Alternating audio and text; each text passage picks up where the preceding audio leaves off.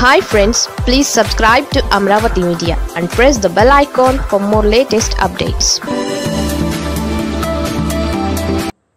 scene reverse Lokesh డైరెక్షన్లో Chandrababu. Telugu Desam party అధినేత చంద్రబాబు ఎన్నడూ లేని విధంగా దూకుడైన రాజకీయం చేస్తున్నారు.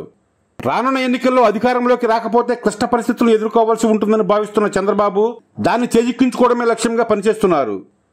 ప్రస్తుతం ఆయన తీసుకుంటున్న నిర్ణయాలు ప్రకటనలు సీనియర్లను పక్కన పెట్టడం లాంటివన్నీ ఆయన తనయుడు పార్టీ జాతీయ కార్యదర్శి నారా లోకేష్ దర్శకత్వంలోనని పార్టీ నేతలు చెబుతున్నారు.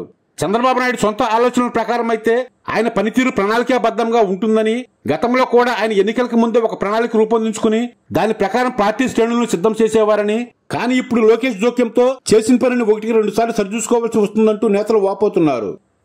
నియోజకవర్గాల వారీగా ఇన్ఛార్జీలను నియమించుకుంటూ వస్తున్న చంద్రబాబు కొందరితో పనిచేసుకోమని చెప్పి పంపిస్తున్నారు. వారందరికీ దాదాపుగా టికెట్ ఖాయమైనట్లే. మరికొందరితో మాత్రం మాట్లాడి ఏ విషయం తేల్చకుండా పంపిస్తున్నారు. వారిలో మాజీ మంత్రులు కూడా ఉన్నారు. వీరికి రాబోయే ఎన్నికల్లో సీటు ఉంటుందా లేదా అనే విషయంలో స్పష్టత లేదు.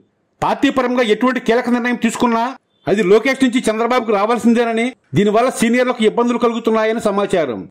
పార్టీలో ఇప్పుడు రెండు పవర్ సెంటర్లు ఏర్పడ్డాయి. కొందరు చంద్రబాబును కాకాపడుతుండగా మరికొందరు లోకేష్ను కలిసి వెళ్తున్నారు. నియోజకవర్గాల నుంచి సీట్లు ఆశించేవారు ఒకరు చంద్రబాబు దగ్గర ఇంకొకరు లోకేష్ దగ్గరకు వస్తుండటంతో ఎవరికి వారు తమకే సీటు ఖాయమని చెబుతుండటంతో ఆయా నియోజకవర్గాల్లో తెలుగు తమ్ముళ్ళు అయోమయంలో పడుతున్నారు. చంద్రబాబు తనయుడిగా పార్టీకి సేవలందించడంతో పాటు అధికారంలోకి తీసుకురావడానికి కష్టపడడంలోనూ తప్పులేదని కానీ తనకు సంబంధం లేని విషయాల్లో తలదొరచడంతో పాటు పార్టీ పరంగా చంద్రబాబు తీసుకునే కీలక నిర్ణయాలన్నీ తిరగదొడడానికి ఆయనే కారకుడని సీనియర్ నేతలు వెల్లడిస్తున్నారు. ఇటువంటి తరుణంలో చంద్రబాబు కఠినమైన నిర్ణయాలు తీసుకుంటే పార్టీ బాగుపడుతుందని స్పష్టం చేస్తున్నారు. నియోజకవర్గానికి ఎవరు ఇన్ఛార్జిగా ఉంటారో ముందే ప్రకటించాలని కానీ ఇప్పుడు కూడా నాంచుడు ధోరణితో వెళుతున్నారని ఇది పార్టీకి ప్రమాదంగా మారుతుందని ఆవేదన వ్యక్తం చేస్తున్నారు. ఇందుకు ఉదాహరణగా గుంటూరు పశ్చిమ నియోజకవర్గాన్ని చూపిస్తున్నారు.